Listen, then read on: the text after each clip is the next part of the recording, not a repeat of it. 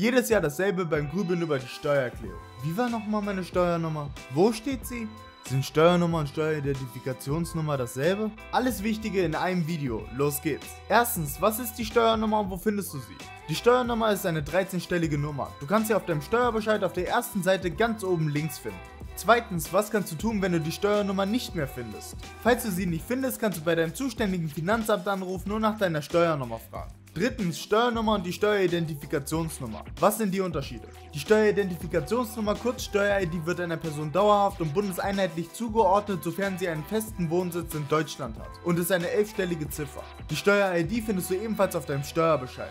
Im Gegensatz zur Steuernummer ist die Steuer-ID nicht nur für Steuern wichtig, sondern auch für weitere Anträge und Erklärungen wie bei Umzügen oder Namensänderungen. Viertens bekommt jeder eine Steuernummer. Wenn du deine Steuernummer aus normalen und legalen Gründen beantragst, muss man dir eine Steuernummer geben.